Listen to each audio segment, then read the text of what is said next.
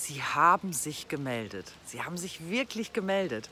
Jan Böhmermann und Olli Schulz sind mit ihrem Podcast Fest und Flauschig aus der Sommerpause zurück und sprechen direkt in der ersten Folge, ganz am Anfang, über unsere Aktion hier in Pevsum. Sprechen über ihr Schild, über das Lied, das der Emder Kneipenchor für sie gesungen hat und auch darüber, wie schön es hier in Pevsum ist. Nur eine Sache die muss ich klarstellen. Die beiden wundern sich nämlich darüber, dass wir das Ganze in ihre Sommerpause gelegt haben. Wussten die nicht, dass wir im Urlaub sind? Sind das dann überhaupt richtige Fans? Meinen die uns? Verwechseln die uns vielleicht?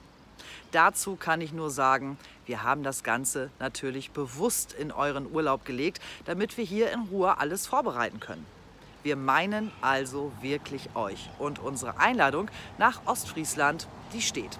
Schön, dass ihr euch gemeldet habt. Bis bald!